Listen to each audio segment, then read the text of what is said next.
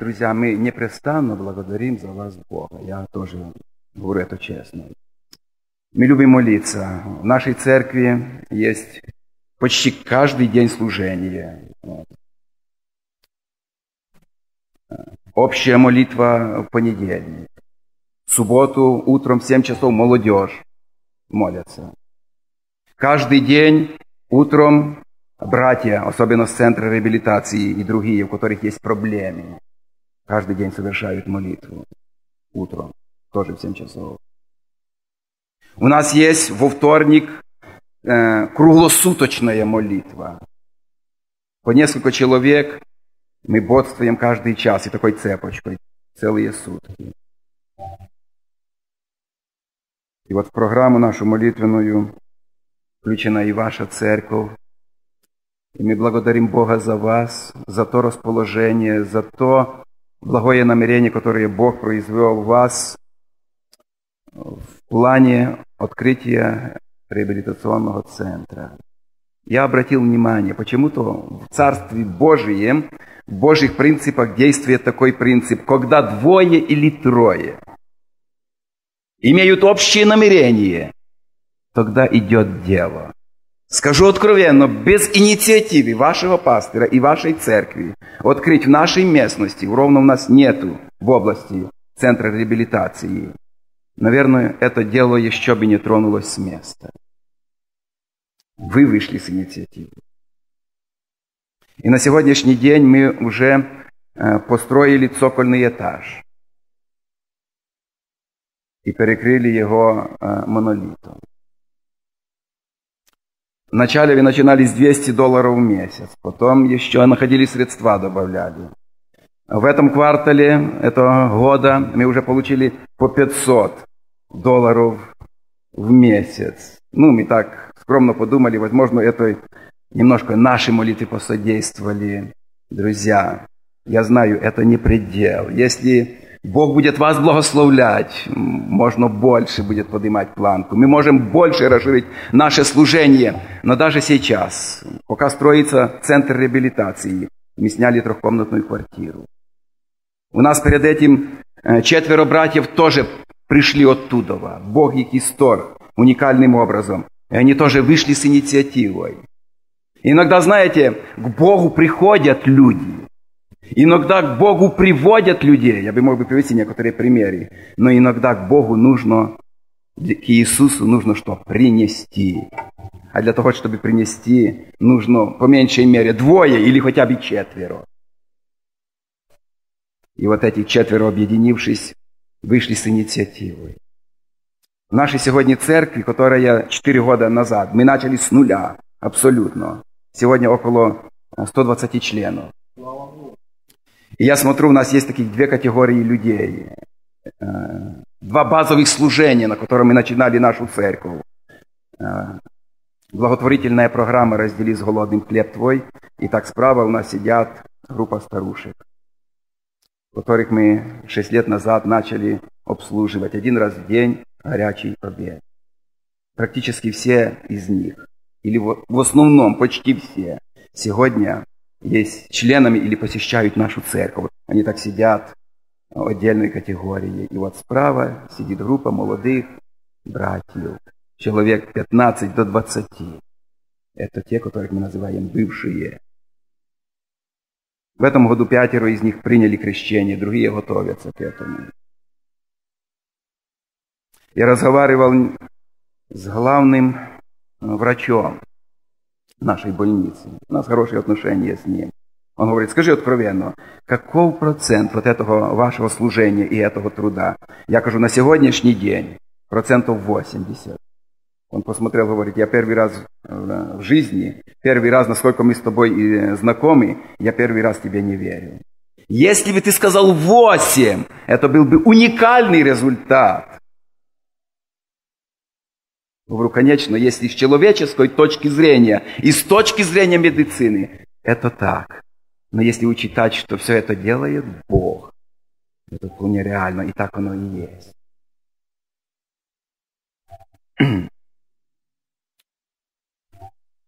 Наше служение, нашей миссии называется «Христос каждый дом». в начале 90-х годов мы начали это служение. Я буду сегодня говорить о наших целях. Мы ограничены в возможностях, но не ограничены в намерениях. И нам говорили, ну поставьте какую-то более реалистическую, что это? Христос в каждый дом, в каждый дом. Мы говорили, это наш мотив, это наше стремление. Действительно, войти в каждый дом и донести благую весть о спасении, о искупительной жертве, о манифесте прощения через Голговский подвиг Иисуса. И мы тогда даже не мечтали, что это действительно есть и может быть реальностью. Спустя, наверное, 8 лет, где-то 6 лет назад, когда действительно нам удалось Божьей помощью и при поддержке наших братьев и сестер с Америки открыть по первой программе национального радио на всю Украину программу христианскую «Осана». Это действительно возможность, уникальная возможность войти в каждый дом. Более 10 миллионов э, потенциальных слушателей, которые слушают эти программы. Когда я получаю массу писем, благодарностей, поздравлений от разных категорий, и звонки с кабинета министров, из, из, э, и от членов Союза писателей, и от простых людей, которые благодарят, просят чаще, э, имеют вопросы и так далее и тому подобное. Я тоже дорожу этим служением, но с каждым годом почему-то все труднее, труднее. Вот, не знаю, хотелось бы удержаться в этом служении. И поэтому, братья и сестры, от нашей миссии Христос каждый дом, от нашей церкви, скиния пробуждения. Это тоже не констатация факта, но это наша цель чтобы пришло пробуждение в нашем служении, в нашей местности. Пробуждение – это наша цель. Скиния, вы знаете, скиния – это общение Бога с человеком. И через общение с Богом, подлинное, настоящее общение с Богом, придет пробуждение. Мы ждем. Мы его видим, такие уже зародки этого пробуждения. И они нас радуют. И мы знаем, что э, сотрудничая, вместе, молясь вместе, подвязаясь единодушно за веру евангельскую, мы будем участниками, не только свидетелями, участниками великого, прекрасного, благословенного Божьего пробуждения. Пусть это будет целью нашей жизни, прежде всего. Слава Господу за это, друзья. От нашей церкви, от нашей миссии. Примите сердечный христианский привет. Мы вас любим и за вас молимся. Мы желаем вам обильных Божьих благословений. Мы желаем, чтобы сотрудничество наше укреплялось. Возможно, просим извинения в плане информации. Мы не дорабатываем, мы упускаем. Стараемся компенсировать в плане молитв за вас. Пусть вас Бог благословит, братья и сестры. Примите привет. Я бы хотел опять предложить вам или продолжить ту мысль, которая уже сегодня звучала. Видимо, все-таки каждый раз Дух Святый пишет для нас сценарий нашего служения и хочет общими усилиями нам что-то сказать. Э, возьму чуть-чуть из, этого, из этой истории, которая сегодня уже звучала. Евангелие от Луки, вторая глава.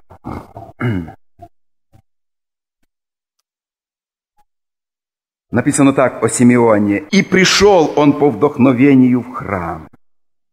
И когда родители принесли младенца Иисуса, чтобы совершить над ним законный обряд, он взял его на руки, благословил Бога и сказал, «Ныне отпускаешь раба твоего, владыка, по слову твоему с миром, ибо видели очи мои спасение твое, которое ты уготовал пред лицом всех народов, свет к просвещению язычников и славу народа твоего, Израиля. И второе место.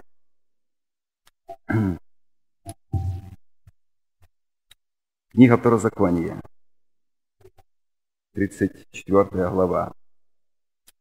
Сначала.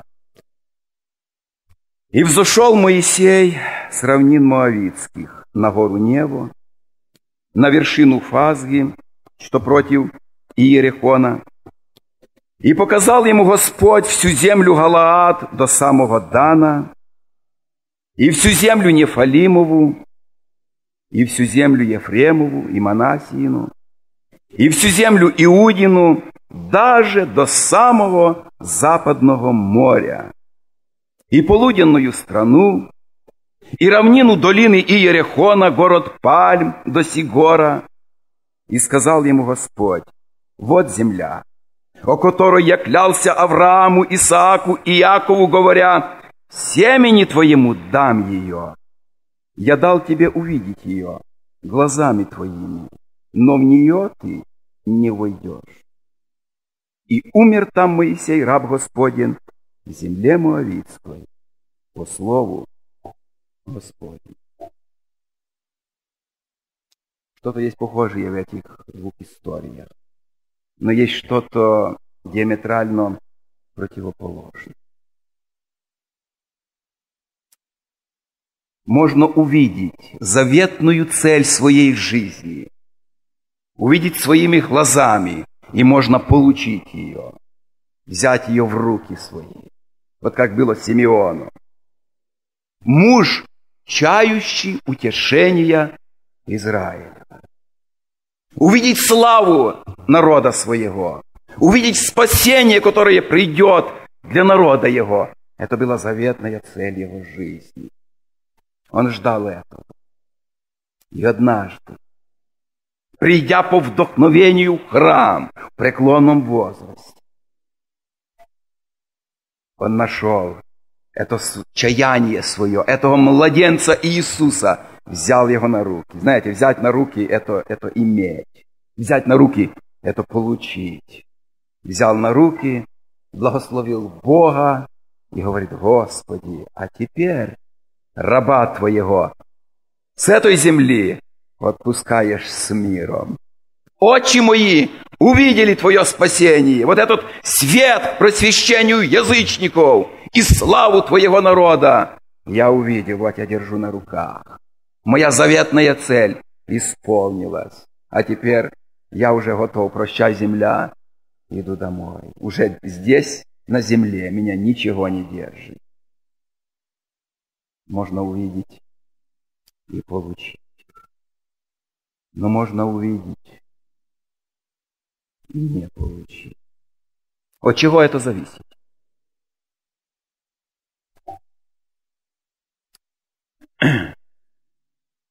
Друзья мои, какое наше отношение к нашим целям? И вообще, какие у нас цели? Я думаю, у каждого есть какая-то своя самая возвышенная, самая заветная, самая более всего лелеемая в сердце мечта, цель. Скажите, пожалуйста, нам все равно, исполнится она, не исполнится, даст Бог, не даст Бог, получится, не получится. Или у нас есть страстное желание, заветную цель увидеть осуществленно. Увидеть, и не только увидеть, получить. Вот скажите, я для примера скажу один пример. У кого-то, возможно, есть неверующие дети. В мире этом погибают. Скажите, пожалуйста, для нас все равно, может быть, уже когда-то, как Ионка говорит, с балкона вечности мы увидим и увидим, наши дети действительно пришли к Господу. Они спаслись. Мы облегченно уже оттуда, с балкона вечности, сдохнем. Или нам бы хотелось сейчас, своими глазами, при жизни нашей, увидеть их спасенными. Правда? Да, конечно, безусловно. Но я хочу сказать, иногда мы обременяемся примитивными целями. Ну, если не мы, то кто-то. Большинство людей находят какую-нибудь примитивную цель и страстно желают ее достигнуть. Я помню, читал Александр Македонский, знаменитый. Однажды поднялся, когда он уже завоевал почти известный на то время мир. Большущая империя была положена к ногам его. Однажды, говорят историки, он поднялся на высокую гору и посмотрел, сколько мог, и в присутствии своих полководцев, генералов, даже сокрушился, заплакал. И потом пояснил причину. Нечего было уже завоевывать. А потом я думаю, ну и что? 33 года. Примерно так. Смерть настигла его, когда он находился в садовом дворце Навуходоносора у Вавилоне. Но перед этим он сделал завещание. В 33 года покоритель мира. Он сделал завещание, сказал, погребать меня будет так, чтобы руки мои лежали и было видно, э, особенно четко и ясно, что они пустые, что я ухожу из этой земли с пустыми руками. Это было его завещание. И мы здесь вспоминаем слова Иисуса, который сказал, что пользы человеку, если он приобретет весь мир. Это редко случается, но иногда случается даже и такое. Весь мир. И с пустыми руками в 33 должен уходить и оставлять это все, что было заветной целью его жизни. Я хочу чуть-чуть коснуться вот эту, какую цель мы избираем. Может быть, не совсем скромно, но это, но это обогащение моего опыта. Я приведу этот случай, не называя имени. Я знал одного очень хорошего проповедника. Когда он приезжал из Москвы, ой, извините, из России к нам, это всегда было на по больших праздниках, особенно на Рождество. Он настолько пламенно, э, красноречиво, аргументированно говорил. Потом он уехал в Америку. Мне только рассказывали, что когда он вышел из самолета, он стал на колени и усердно целовал американскую землю. И потом я как-то приехал в скором времени. Знаете, иногда днем нечего делать, взял там рекламный выпуск, смотрю. Реклама, как хорошо делаются памятники. Смотрю памятник, и его лицо. Знакомое лицо. я понял, что уже он похоронен, уже памятник образцовый существует. Я, знаете, подумал о чем? Патриотизм – это хорошо. Интернационализм нормально тоже. Вот. Нормально любить свою землю, любить чужую землю. Но вот в этих приоритетных целях нужно как-то ну, более конкретно определяться. Мне показалось, почему-то есть более благородные цели, которыми должны быть привержены. У меня есть друг в Германии. Неплохо устроился. Вы знаете, в Германии вообще-то очень социальная защита хорошая. Для многодетных. Мало кто, кто имеет более пяти детей, работает и так дальше. Хорошо он устроился. Ну, захотел Канаду. Знаете, хочется еще лучше. Я был, он приехал уже в гости с Канады. В лесу там разрабатывает, работает день и ночь. Ну, говорю, Ваня, как? Знаешь, каже, то, что искал, то нашел, но не этого я искал. Я думаю иногда, как не совсем хорошо, когда мы ищем, страстно, усердно ищем, и даже не знаем, чего мы ищем.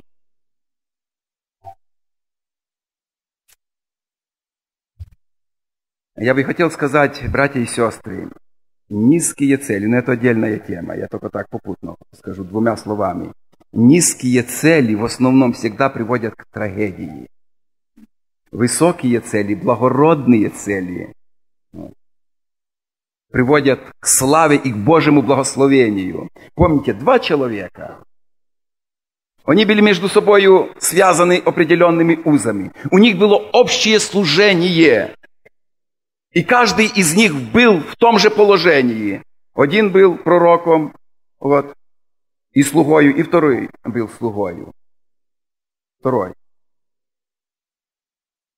И однажды Елисей, который был слугою у своего господина, пророка Ильи, на вопрос, Или, э, Елисей, проси, что ты хочешь?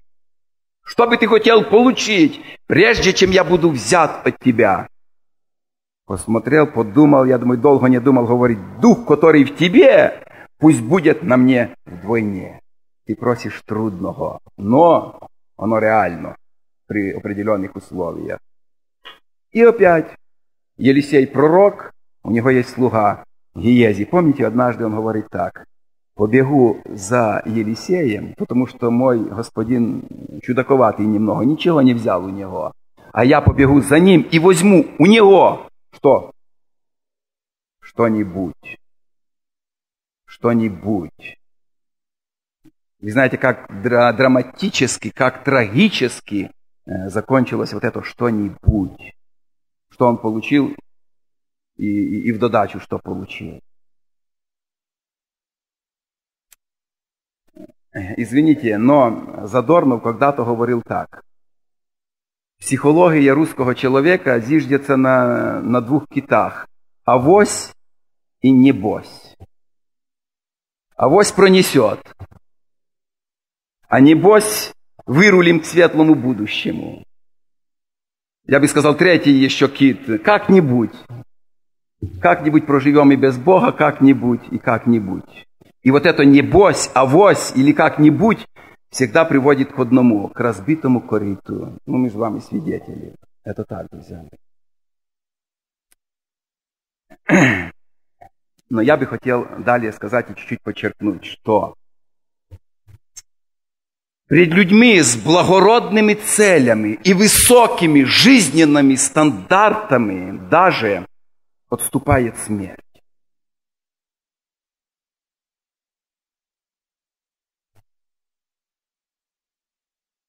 Вы верите в то, что иногда смерть может прийти не в свое время. Вы верите в то, что иногда смерть может преждевременно найти нас. Ну, не нас, а нас, конечно, нет.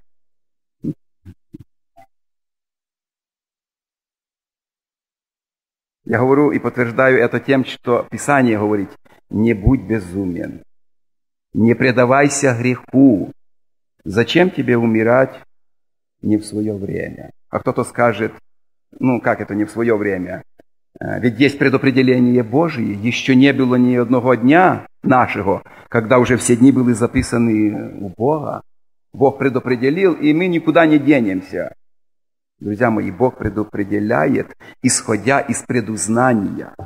Кого Он предузнал, тех определил. Вот. Бог знал наперед, как мы поступим, и потому у Бога уже был э, сценарий нашей жизни от предузнания, Божье предопределение.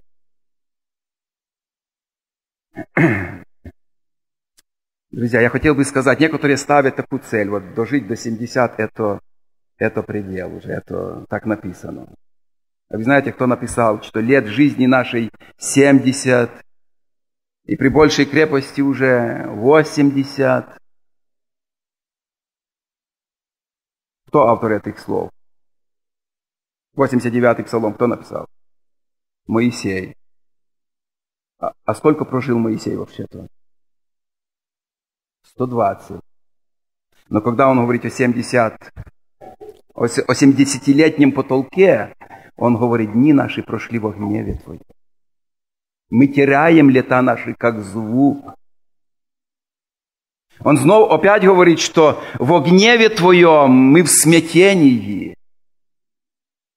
Вот почему летней наших 70, а, а кто-то и многие и этой планки не, не дотягивают.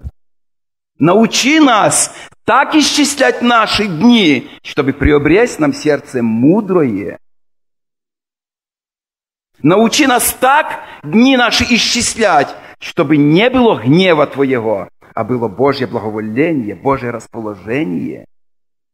Я думаю, что вы согласны, что Бог праведников желает насытить полнотою дней и благословить.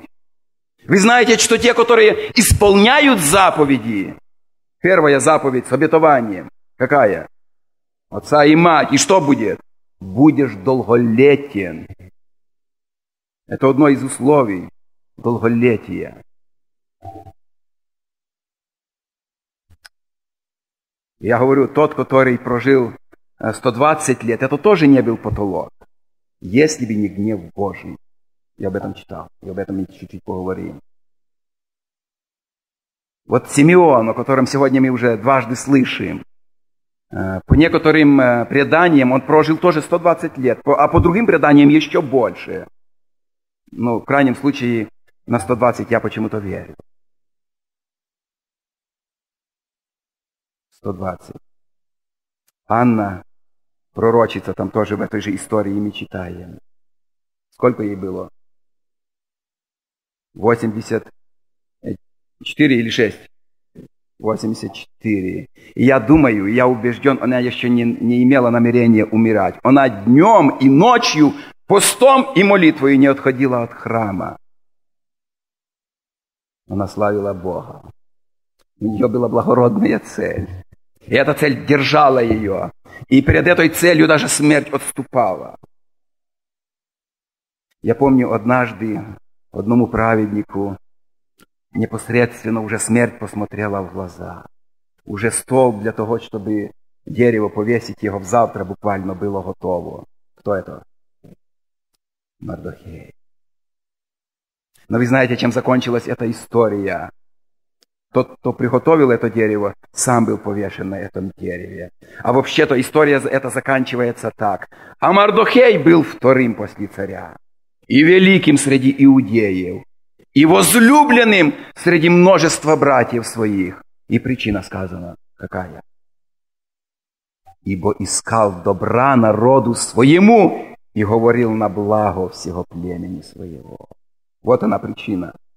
Почему смерть отступила, слава пришла и величие, даже о котором он не мечтал. Но смерть отступила. Я знаю другого праведника, прожившую долгую жизнь. Но однажды ему смотрела в лицо смерть непосредственно. Помните, когда тело его от подошвы ноги до темени головы распадалось. И все видели близкую кончину. И жена предлагала ему ускорить эту кончину, похули Бога, и раньше умри без страданий. Он говорит, ты говоришь, одна, как одна из безумных. Я знаю, мой Искупитель живой. И я глазами своими узру Его. И не кто-то другой, а я. А это тело мое Он восстановит.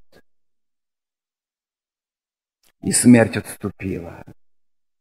И открылась молодость. И дети были возвращены, то есть опять он имел прекрасную семью, которую он дорожил и которую он ценил.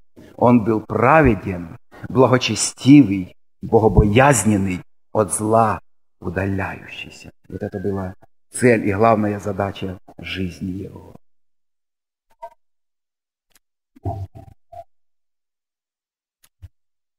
Друзья мои, те, которые вот такие цели преследуют, и так свою планку в жизни поднимают, они увидят, и они получат. Павел говорит, даже тогда, когда внешний наш человек тлеет, когда мы стареем, внутренний человек что? Из дня на день обновляется. Это правда. Был такой в Америке благочестивый президент Джон Адамс. Он дожил до глубокой старости. Уже очень глубокой старости был. Он встретил своего земляка.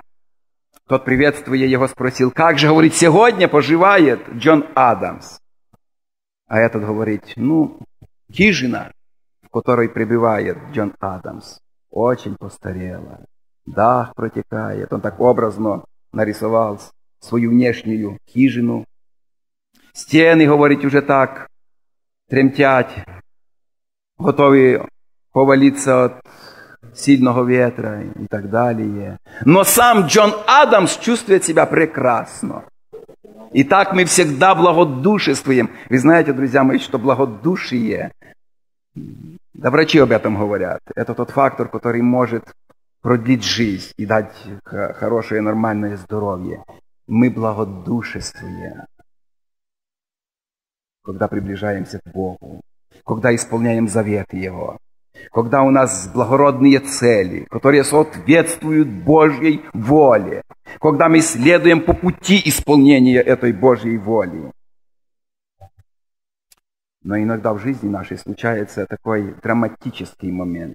Когда я говорю драматизм, я имею в виду э, чрезвычайную напряженность, сложность обстоятельств, которые причиняют моральные страдания, драматизм. И вот я прочитал об этом Божьем герое, почтенном Божьем герое Моисее. Когда я читаю о том, как он умирал, это трогательный рассказ.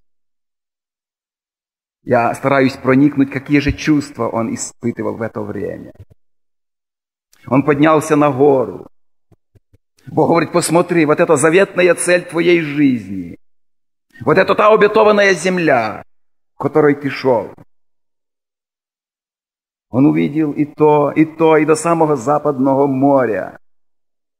И Бог говорит, я дал тебе увидеть, но ты не получишь. Сколько раз он говорил, Господи, ну пожалуйста. И однажды Бог говорит, Моисей, чтобы я больше не слышал. Я дал тебе увидеть, но не войдешь. Я опять думаю об этом замечательном, прекрасном Божьем муже. 80 лет прошло, когда однажды он сделал свой выбор. Ему тогда было сколько? 40 лет. На 7 лет и на 7 дней он был моложе меня. Прошлое воскресенье мне было 47. 40 лет. И он сделал свой выбор. Когда он увидел страдания народа своего, он, египетский принц, сын фараоновой дочки, он увидел страдания народа своего. И написано, пришед возраст, отказался называть сыном дочери фараоновой, сознательно. Знаете, есть, э, возможно, планка наших желаний, наших целей на каждый возраст. То, что позволяется детям, иногда не позволяется взрослым. То, что нам было простительно, когда мы были духовные младенцы, э, непозволительно, когда мы повзрослеем. И вот он пришед в возраст, Моисей, отказался называться сыном фараоновой дочки и захотел страдать с народом Божьим. От гнева фараона он убегает. Сорок лет в пустыне пасет овец. И вот потом Бог его опять призывает на служение стать вождем этого народа страждающего вот этих рабов. Казалось, на эту должность более чем кто он не подходит. Кроток и робок. Лидер должен быть властный и волевой. Вы знаете, Бог иногда не считается с нашими природными качествами. Бог иногда хочет показать, что Он Бог-творец, и Он может любого использовать, кто следуя принципам Его верности. И Бог призывает Моисея. И потом 40 лет он ведет этот народ к заветной цели, обетованная земля. 40 лет. Я представляю себе, как, возможно, э, во время бессонных ночей под звездным небом он лелея вот эту цель, ввести народ в обетованную землю, когда он беседовал с Еговой. Он вел туда и привел туда, вот она земля, где гробницы патриархов ожидали Израиля. Вот земля, где он думал успокоиться наконец-то вместе со своим народом. Вот она земля, где должно устроиться царство, славное царство Израиля. Со всего мира будут приходить и восхищаться, особенно в дни Давида и в дни Соломона. Вот земля, о которой он так мечтал.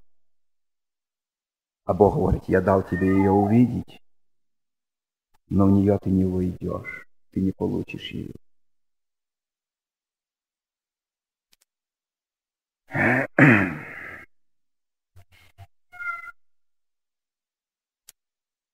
Братья и сестры, у меня такой простой практический вопрос.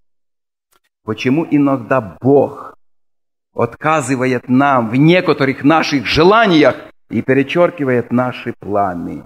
Или такого не бывает в нашей жизни? У кого не бывает, поднимите руку. Ни одной руки. Бывает. Я согласен, помню, кто-то сказал так. Пишите ваши планы карандашом и не забывайте, что у Бога есть резинка всегда поправить, подтереть и подкорректировать. А мы иногда привыкли наши планы так хорошо описать ручкой, еще обвести, или же железным резцом, это в нашей психологии славянской где-нибудь начертить. Тут был Ваня, чтобы все знали и надолго осталось. Пишите ваши планы карандашом, не забывая, что у Бога есть резинка. Я знаю, что у каждого из нас есть какая-то заветная цель. Может быть, у каждого своя. Но почему иногда бывает так, что мы можем увидеть нашу обетованную землю, нашу заветную цель издали, вблизи, но не получить? И такое очень часто случается. Я знаю, я знал лично многих, для которых заветная цель в их жизни было найти среду, общество, церковь, где господствует полная справедливость, где бы они были в центре внимания, а, окруженные заботой и любовью, они страстно этого искали. И многие сегодня ищут. Они ищут совершенную церковь, я иногда им говорю, вы ее не найдете. А если найдете, вас туда не примут, потому что вы несовершенные. И многие так разочарованными и остались. Я знаю, для некоторых, некоторые очень дружелюбные. Для них предел всего – это иметь круг верных, прекрасных друзей. Они ценят этим. Они стремятся к этому. Я знаю, апостол Павел был таким. Он умел ценить сотрудниками. Он молился за них день и ночь. Он ценил настоящей дружбой. Но вы знаете, однажды он пишет из римской тюрьмы и говорит, все меня оставили. О которых я говорил, теперь со слезами говорю, которые для меня было то, были тем, кем я оставили. Все осийские, Фиел и Гермоген, правда, один Лука со мною а все оставили. Давид был тоже дружелюбен, он ценил дружбу, верность ценил. Он дорожил своими военачальниками, сыны Саруины, это даже родственники были. Он ценил. Он ценил своим советником, чей совет был тот, что совет Бога. Но однажды сыны Саруины предали его. Ахитофел предал его, Авиафар предал его. И он один из горстью верных людей спасает свою жизнь. Больно было. Для некоторых заветной целью есть образцовая семья, большое родство. Как я уже сказал, Иов, он ценил детями. Он молился, он жертвы за них приносил постоянно. И вот однажды случилось так, что не осталось никого из детей. Представьте себе судьбу вдовы. Она мечтала иметь мужское плечо, на которое нужно опереться, иметь детей и так дальше. А помните, однажды она приходит к мужу Божьему, плачет и говорит, твой муж, мой муж, твой раб умер, а для меня оставил только что долги. И взаимодавец пришел забрать моих детей. И заветная мечта ушла из-под ног. Так бывает. Эпоха пробуждения, я знаю лично многих моих друзей, особенно старших, которые в то время мечтали, мечтали, чтобы действовал Господь. Видеть то время, когда будут сотни, тысячи спасаться, когда новые церква будут открываться, когда Божья благодать будет действовать. Мечтали, мечтали, и многие из них ушли в вечность, так и не увидел этого. И у меня вопрос, друзья. Почему иногда Бог не позволяет нам войти в обетованную землю, которую мы лелеяли, которую мы мечтали, туда, куда мы стремились. Мы только видели и не получали. Я знаю, есть много разочарованных, которые стремились к этому, но не получили. Почему иногда Бог отказывает нам в наших заветных целях? Скажите, пожалуйста, какая причина, главная и основная, почему вот этот почтенный Божий герой не вошел в обетованную землю? Бог сказал, посмотри, но не увидишь, но не войдешь, не получишь. Причина какая? Не явил святость. Скажите, пожалуйста, а вообще по большому счету он был прощен Богом или нет? Безусловно. А как же? На горе преображения вместе с другим э, библейным Божьим героем Ильею он явился. Он вошел жизнь вечную.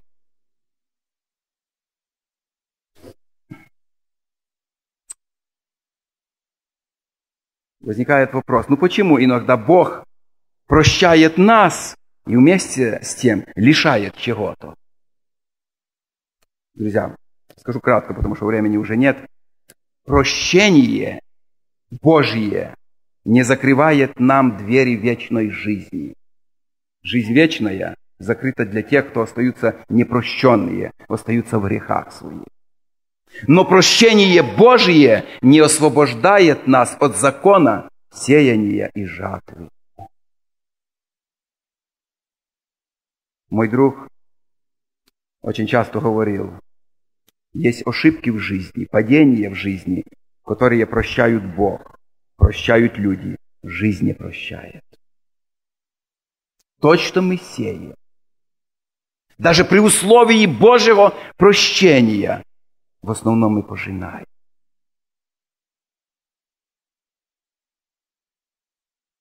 Яков, чья жизнь, вы знаете, была преисполнена трудностями, он об этом сам свидетельствовал. И он говорит, я со скорбью вот эту седину свою сведу в могилу.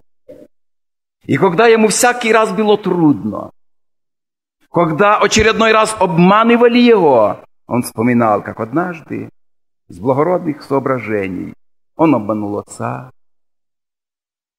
Возможно, он помнил, как вероломно все-таки он поступил с братом своим и пожал своей жизни очень много.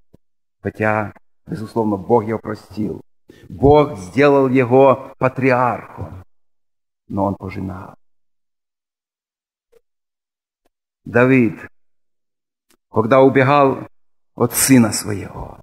Давид, который страстно хотел построить храм Богу. Это было для него дело чести. Он завоевал царство для Израиля.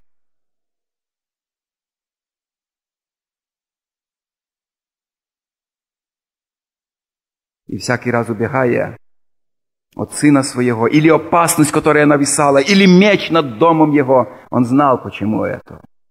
Он помнил грех свой, он помнил падение свое, он помнил прелюбодеяние свое. Он был прощен Богу.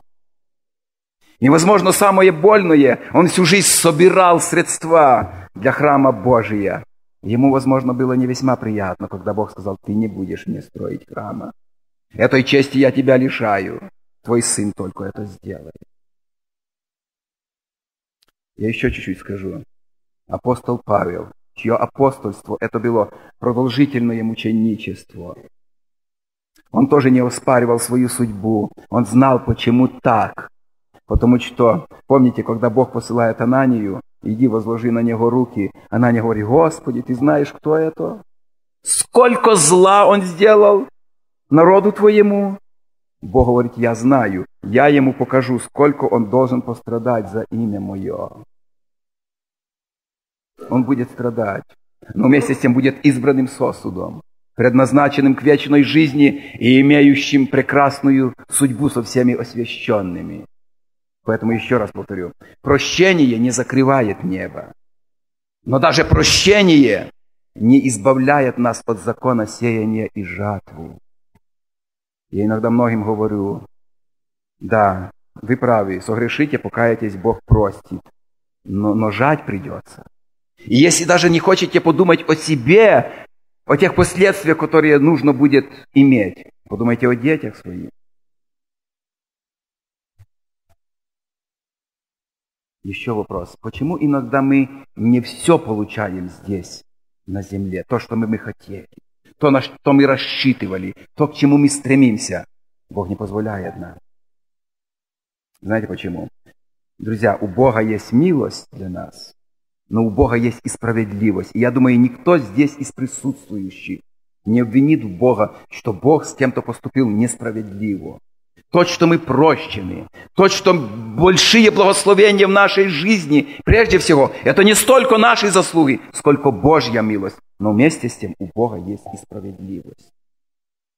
Иногда вполне справедливо Бог чего-то лишает нас. Следующий момент. Бог хочет, чтобы в нашей жизни взаимоотношения наши с Богом базировались по вере, а не по расчету. Я знаю, у нас в селе был такой проповедник, наверное, в каждой проповеди он приводил аргументы и говорил, и так делал такой итог. Служить Богу есть расчет. Есть расчет, потому что в этой земле мы получаем, ну, если не во сто крат, то все равно намного больше. Но Бог иногда даже хочет, чтобы не по расчету мы служили Ему, а по вере. И пример. Авраам, муж веры, отец всех верующих, имел обетование получить землю в наследие. И что, при жизни своей, сколько он получил? Ни пяди. И он ждал города художником и строителем, которого есть Бог. А на этой земле ни пяди. Он был странник и пришелец. Это прообраз верующего человека. У него был шатер, у него был всегда жертвенник. И он ходил по этой земле, которая ему уже принадлежала, но ходил как по чужой. И во владение не получил ни пяди, но он ожидал города, художником и строителем которого есть Бог. Я скажу такой момент, я думаю, вы согласитесь со мной. Люди, обложенные земными благами, люди, которые получают в жизни это все, и чем больше они получают, тем меньше они думают о Боге о Царстве Божьем. Им хорошо здесь. Вот почему иногда Бог, зная вот эту нашу психологию, наш менталитет, иногда что-то удерживает от нас и желает, чтобы мы приблизились к Господу. Я заканчиваю и хотел бы сказать, братья и сестры, давайте остерегаться падений. При условии покаяния Бог простит, но мы многого недополучим. Мы многого недополучим.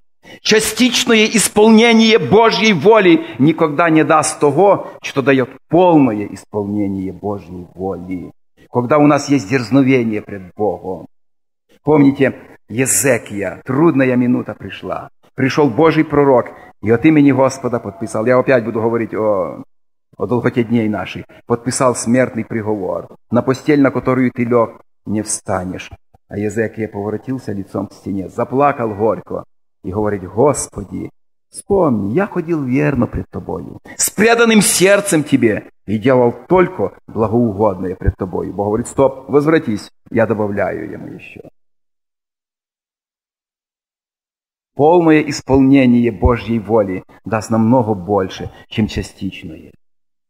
При условии прощения Божия мы будем иметь потери. Мы будем видеть, но не получим.